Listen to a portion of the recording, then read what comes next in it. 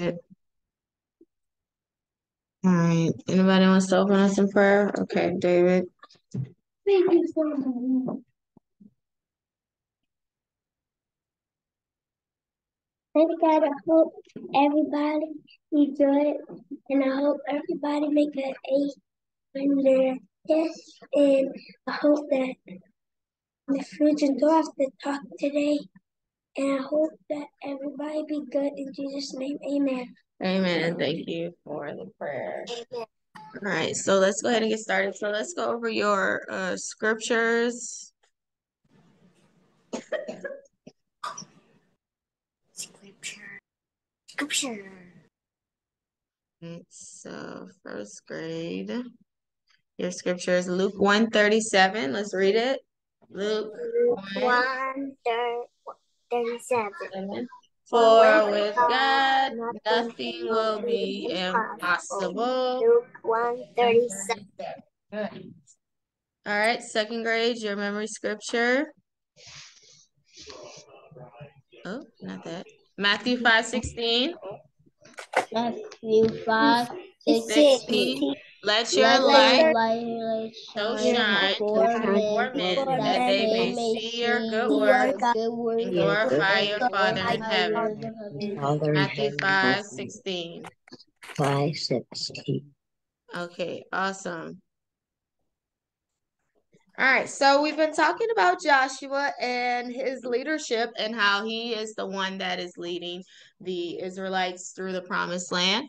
And so yesterday in our lesson, we discussed how after they had conquered the city of Jericho, the Lord had given a command that they were not, they were to give all of the spoil. And remember, I told you the spoil is like all the treasures, the silver, the gold, all of what they found in the city, they were supposed to give it to the Lord, right? But there was a man named Achan who secretly kept some of the spoil for himself. It was a robe and a bar of gold and some pieces of silver that he found and he was like, no one's going to know I took it. No one will know that I um that I'm keeping this for myself. He was like, I'm going to go ahead and hide it. And he did that. So he took it and he went and hid it under his tent. And so after this, the next city that the next nation that they were going to conquer was the city of Ai. And it was a very small city, weren't a lot of people. So Joshua felt like they would be able to defeat this city easily. So he only sent a few soldiers to go and conquer the city, but little did he know Ai actually ran the Israelites off and the Israelites actually did not defeat them like he thought they would. So whenever they got back, he's like, "What happened?" And they told him um, that the city of Ai was too strong for them. And Joshua's like, "That's strange." He's like, "We just beat the city of Jericho with the city of the city that had walls, and we can't defeat this smaller city of Ai." So Joshua was a little confused. He didn't understand what was going on and what happened. So when he went to the Lord in prayer about it, the Lord had told Joshua that um, they lost this they lost that battle because there was sin in the camp.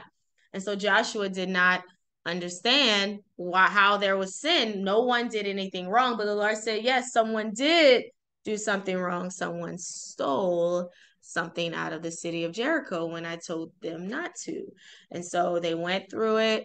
Uh, they went through all of the people in the land and they found out that it was Achan, and Achan and his family were stoned because of his sin of stealing from the Lord. So uh, after this, the Lord gave them a battle plan to go uh, and fight and defeat the city of Ai, and they did. Remember, I told you some of the soldiers had attacked from the front, and then some of the soldiers attacked from the back, and they were able to conquer the city. So the Lord had given them the victory. And everyone also learned their lesson not to take from the Lord. But I told you guys that the Lord had really only wanted the spoil from the first city because after they defeated the city of Ai, they were able to keep all of the spoil. They were whatever they found was theirs. So you see, if Achan would have waited, look what he could have gotten if he just was patient and waited on the Lord. So word is going around the nation to different nations, and everyone is hearing about how the Israelites are conquering different nations, how they are having uh, multiple victories, how the Lord is giving them strength. And a lot of the other nations are hearing about this and they're a little scared about it because they were like, we don't want the Israelites to defeat us, even though there was nothing they could do. So, five different nations, five kings decided to get together and they were like, We're going to partner up together. We're going to put our armies together. We're going to be five different armies and we're going to go and fight against the Israelites. There is no way they will be able to defeat us or, you know, beat us because of what, uh, because of us five coming together. So they thought. And so Joshua he heard about what was going on with these nations. He found out about it and he was a little concerned. He was like, Lord, there's five nations at one time coming against us. He's like, Lord, what do we do? That's a lot of soldiers to fight and to defeat. And so the Lord told Joshua not to be afraid. He says, For they are already defeated. The Lord said, Joshua, I have given them into your hand. And that's encouraging, right? Because Joshua was thinking, How is this going to happen? How will this work? And little did he know, the Lord is like, I already gave, I'm giving you the victory already, Joshua. You don't even have to worry about it. And so um, so the Lord said, Go and fight, and you will be have victory. So Joshua got the Israelite army together and they went and they marched to where those five nations were camped because they were they were confident that God would give them the victory. And so whenever they arrived, the soldiers, everyone was shocked, right? Because they didn't think the Israelites were going to come to them. So they were shocked and they were surprised but the battle began, and so the Israelites, this one army, began to fight against a nation of a nation that had five armies together. And so it was a tough battle. It was a battle that was going on all day. It was a very hard battle for the Israelites. It wasn't easy. It was tough, you know, but they fought and they fought. And soon after they had been, I mean, not long after they, well, after they were fighting for a long time, nightfall was soon to come. And Joshua did not want his soldiers to fight into the nighttime, right? Because that can get more dangerous. They could lose more soldiers. And, you know, you don't want to fight at night, right? So Joshua is like, Lord, you're going to have to do something. Lord, you're going to have to do something so that, you know, so that we have more daytime where we're not fighting this battle all the way into the night. And so Joshua prayed and he said, and he said, sun and moon stand still. And guess what happened? The sun and the moon stood still.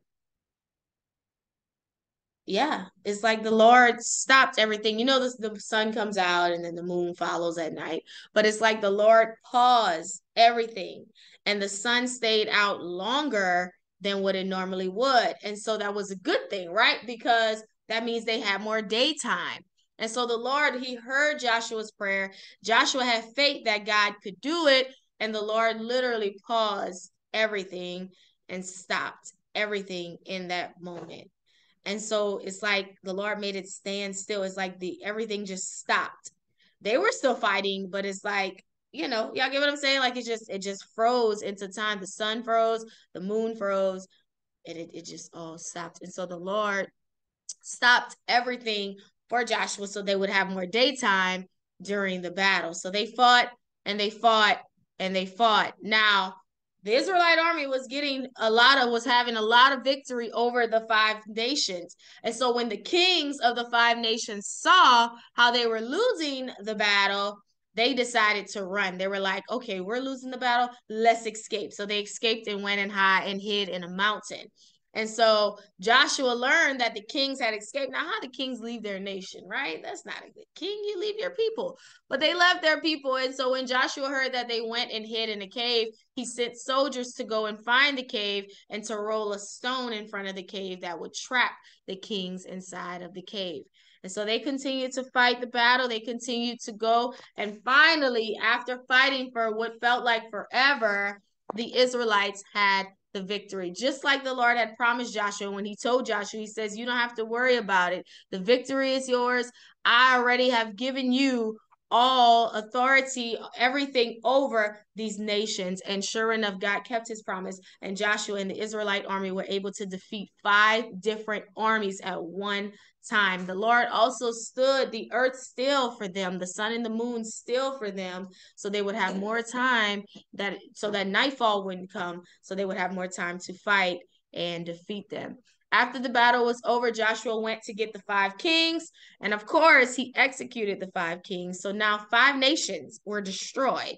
So that's a good thing for the Israelites, right? So they now have Jericho, they have the city of Ai, and now they have these five nations. So that's seven nations that the Israelite army has defeated. The Lord has given them victory over seven different nations right? And remember, guys, they weren't this big army, right? They they learned how to fight. The Lord taught them and strengthened them as the army, and we see how they're growing and how God is with them and He's giving them all these victories. And so they're taking back their land, right? That's the whole purpose of them doing this. They're taking back their land. These nations have taken their land, so they're taking the land back and making it their own again.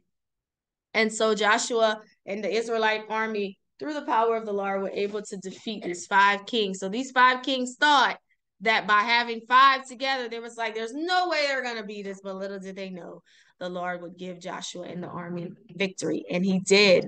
And so he destroyed the kings and destroyed their nations. And so again, we see how the Lord has given them victory yet again.